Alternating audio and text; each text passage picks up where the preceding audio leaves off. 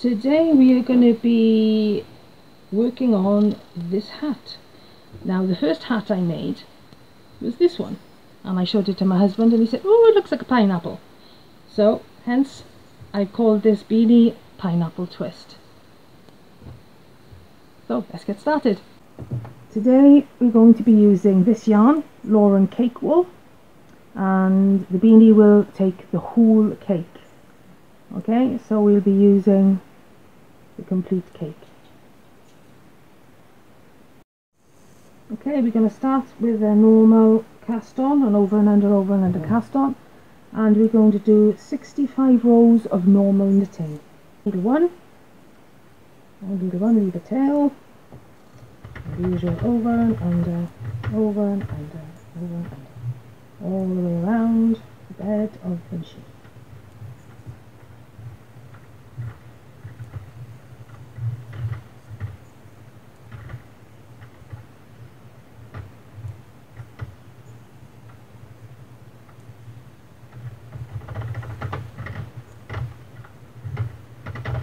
these machines are so creaky starting off. Back to needle one, white needle and needle one, in through the yarn feeder. I'm using the middle tension gauge for this yarn. I'm going zero my counter because the cast on row does not count It's part of my row numbers and we're going to do 65 rows of plain knitting. I'll probably fast forward through all this, okay? So off we go. Keep an eye on all these little loops and make sure you've got, um, when you look around the bed you can see that there are two along there and that's when you know that you've cast on correctly. That's what I was told. okay, here we go.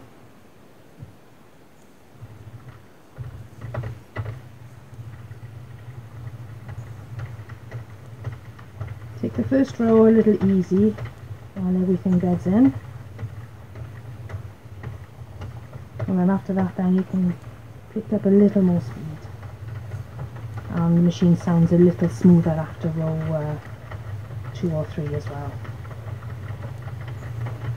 We're on row 2 already and I'm pleased to say as a side note that since I repaired the counter on my machine just after I had it, it failed on, if I remember, row 59 on my first ever project. Um, I'm very glad to say that, um, touch wood, it's, um, it's fine so far. Here comes the fast forward. You're doing 65 rows in total of just ordinary plain knitting.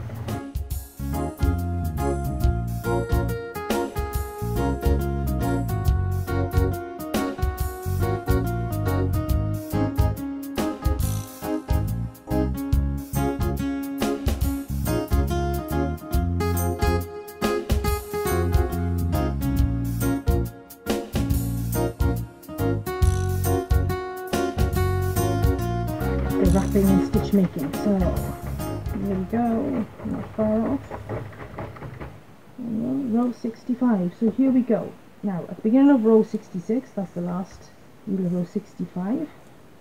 Uh, on needle 1, needle 1 is just coming up there, we're going to move the yarn. I'm going to push it forward to here. And this is where we start uh, wrapping two needles, we'll be wrapping these two needles and then knitting needle three and we do that all the way around the bed for 18 rows. So here we go. What I find is if you pull two needles up and make sure this needle is very very slightly higher than that one and you just take yarn yarn round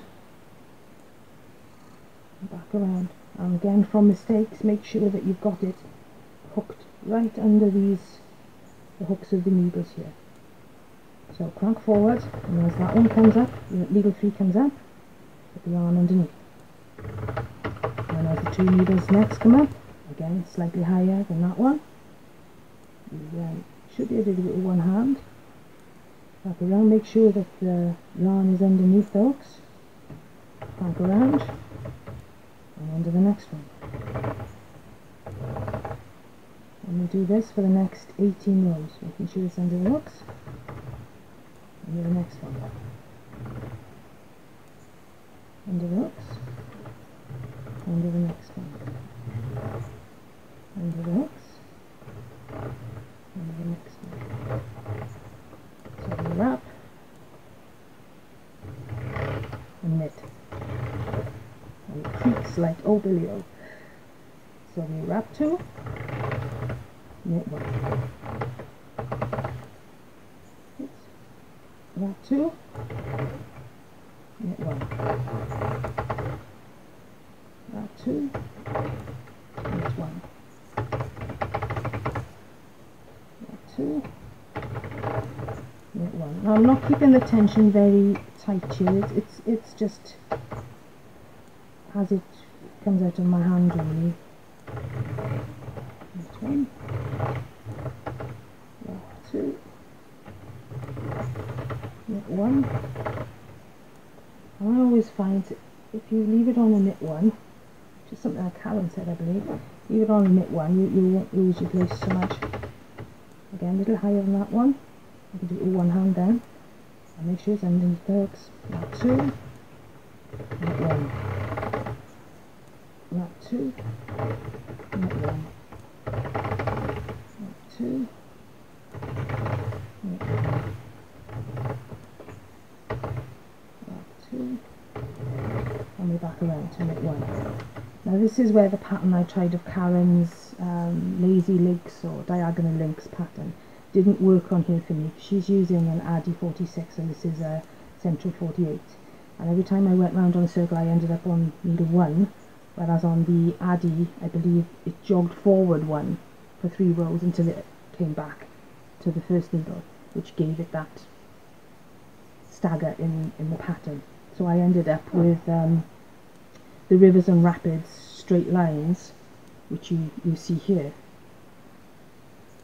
So we'll carry on around, I'll do another row and then I'll finish off um, the next um, 16 rows after that. Okay? On my own I'm going to come back. And I forgot to zero my counter. So after the two rows I'll zero it. So when we come back it'll be on 18 okay? So we are on this one. And wrap. Next one. And wrap. And we carry on going knit. And wrap. Knit. And wrap. Which is underneath. Knit. And wrap.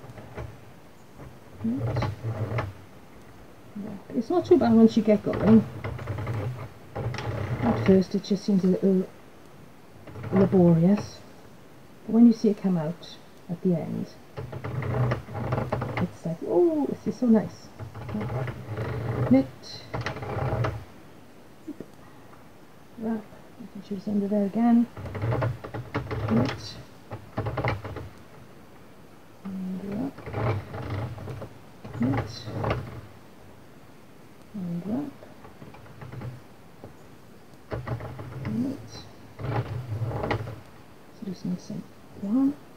Put two needles up so I know it's a wrap. Wrap. Knit. Alright, I just hope I don't go wrong in this video. Knit. Alright. Knit. Alright. And don't go wrong in this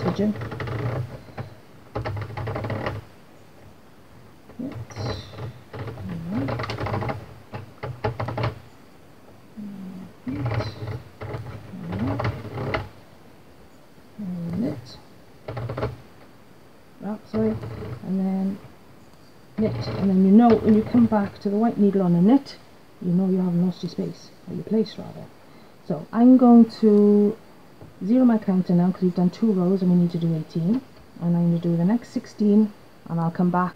Okay, I thought I'd just stop briefly to show you that I've bunched this up now in the middle and already you can see the, the lines coming through here which start the um, the ribs. Um, so I'm going to finish now to row 16 while I'm filming and then I'll fast forward a little bit. We're starting now again, next row, wrapping these two needles here, bringing this one up slightly higher than that one, and wrap, making sure it's under the hooks, completely under the hooks, I can't stress that enough, or they will drop off. From experience I know that.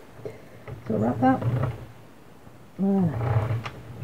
I treat them as groups of three, three stitches, three needles, sorry. Um, so wrap and one, Eso.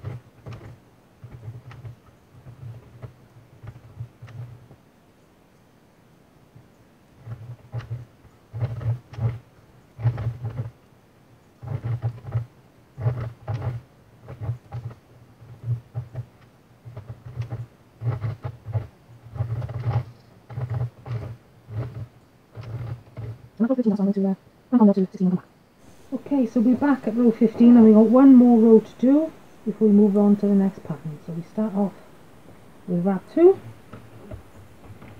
and knit 1 again. Wrap 2 and knit 1 all the way around. Making sure it's under that hook. You nearly caught me out there.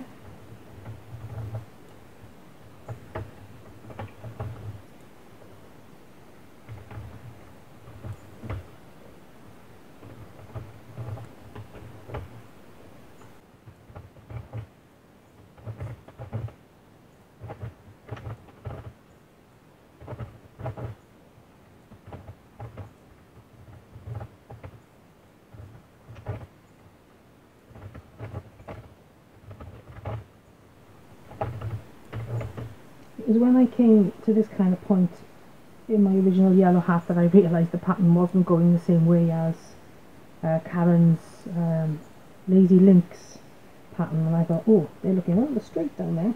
Okay, so I thought I'd move on to uh, a different technique and then that's how I ended up with a hat. It was supposed to be a swatch. So um, that's what happened there. And it was, as Bob Ross used to say, a happy accident. So we're on needle, the white needle. So this is row 16, 19. So this is the start of row 19. So zero your clock. Um, and start at needle one, wrapping two pegs. So we finish on the knit there. And now we're going to move on to wrapping two pegs at a time. And we do this for one row. So we're not knitting at all now after the wrap, okay? It's just um, wrap two, wrap two, and this is like um, Karen's Lazy Links. Wrap two, and again it helps if this needle is ever so slightly higher than that one, and again ensure that it goes under these hooks here. Wrap two, all the way around the bed of the machine.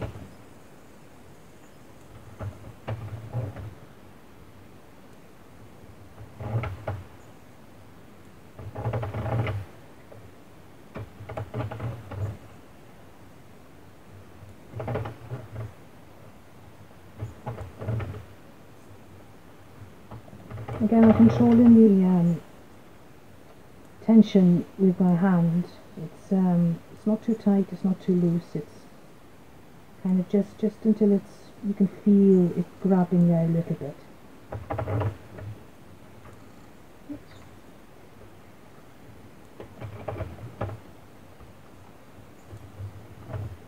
And just do this all the way around the bed until we come back to the right needle.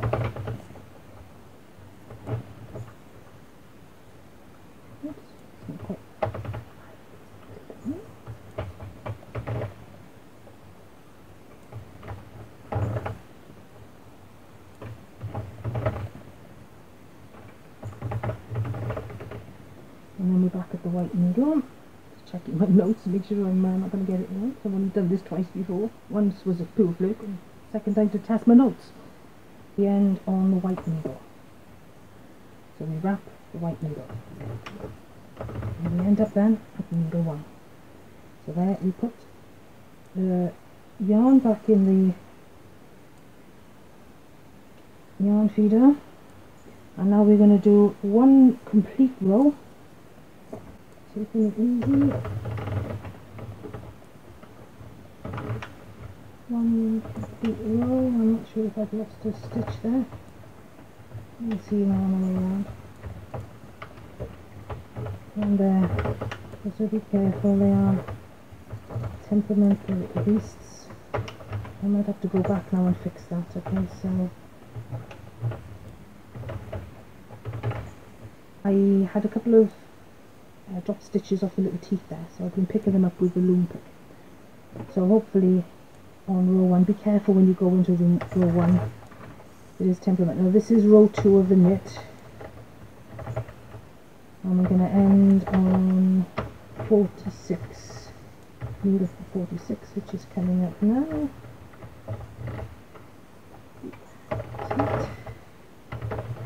So we're going to knit needle 46 and then with these two up which is um, 47 and 48 so now we're going to start the double wrap again now from needle 47 and 48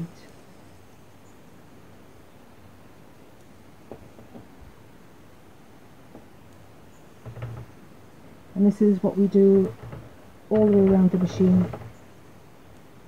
Uh, for the next 22 rows it's going to be a pattern row two knit rows.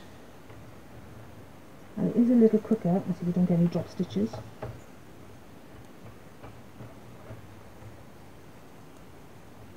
It makes my heart go when I get a drop stitch because I'm not that I'm, I'm relatively new to this. And every time I get a drop stitch oh my heart sinks.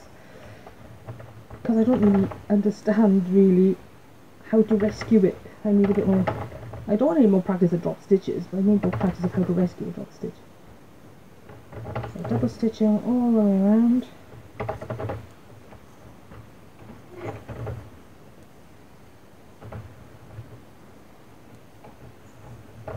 And remembering that it's easier if this one's a little bit higher than that one. Make sure you go under these hooks. And you can usually wrap them with one hand Under that, make sure it's under that hook. Sometimes you can get lost in a bit of a daydream wrapping world and you just forget or you just don't see it and zone out. There we go. And we're going to end up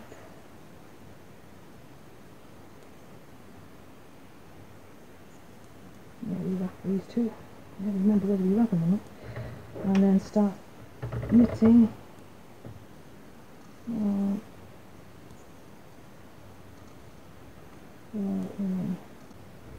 okay, so one whole knit row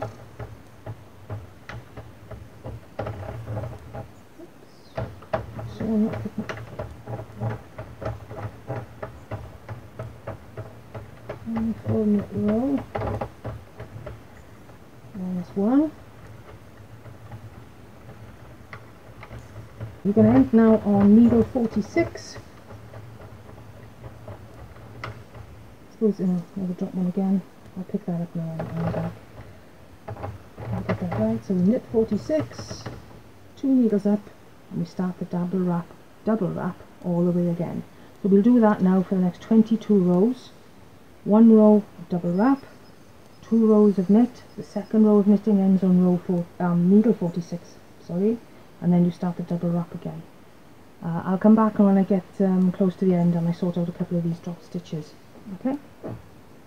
Okay so here we are back at row 18 I've got one row of wrapping to do and two rows of knit and then a few knits because my ball uh, my ball of uh, yarn is coming to an end. So with that from 47 48 I have had a few drop stitches I have to say um, which has been yeah. I don't know if the machine likes this uh, yarn or not but anyway we'll see as we go along.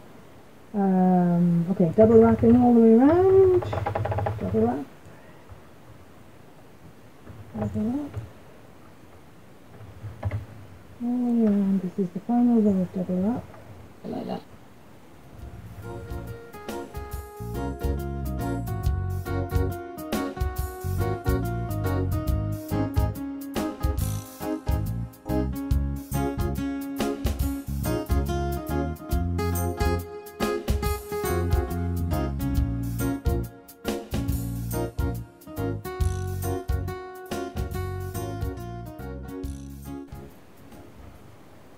double wrap around on the white needle.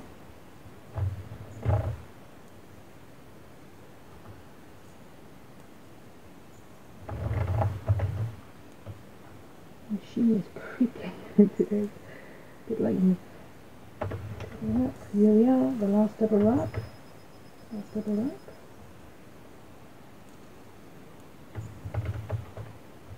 Now, I'm using the um, the lowest tension, the slackest tension. It should be two rows now, but it'll just be until the yarn runs out really, because you're on 19. So watching now for stitches that drop.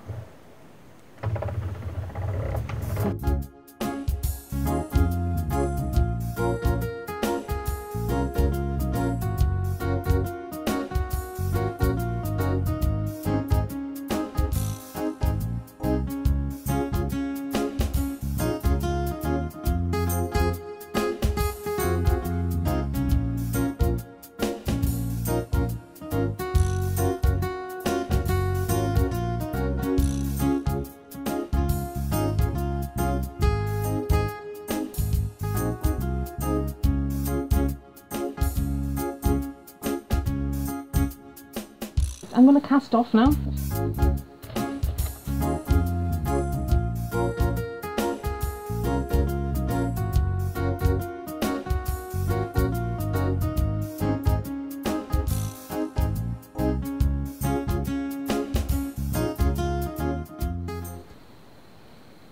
And the final two, and we've cast off our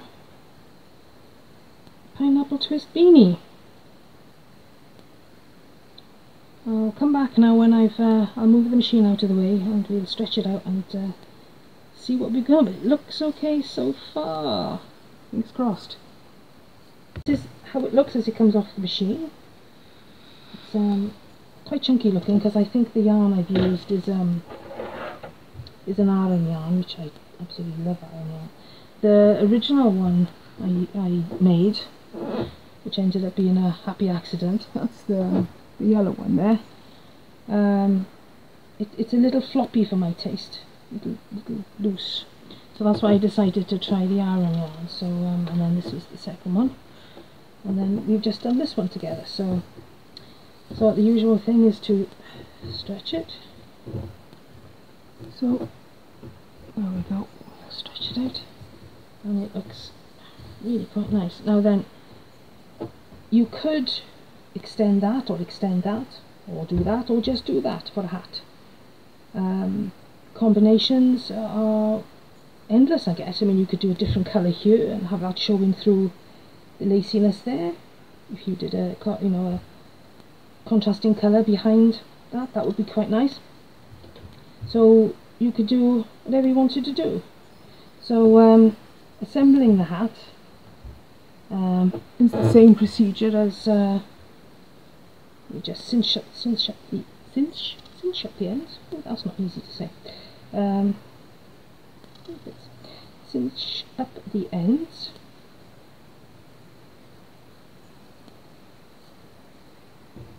Uh, I'm definitely not the quickest at doing this. I'm trying to make sure that my hands are in view and apologies for my hands I've been decorating upstairs so I've got slightly rough fingertips and I'm learning to play the harp so it doesn't doesn't help when you're working with wool that your fingers actually stick to it sometimes.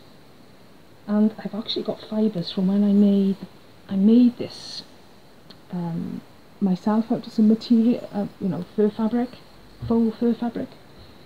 And again the um, the fibres seem to be everywhere so that's the beanie.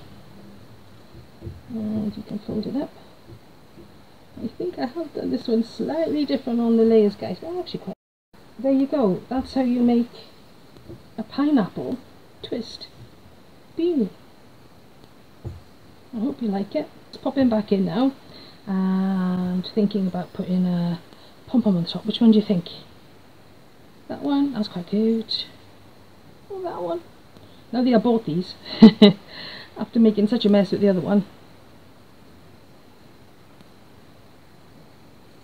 Oh, I'm not quite sure. Maybe that one. Anyway, thanks for watching. Take care.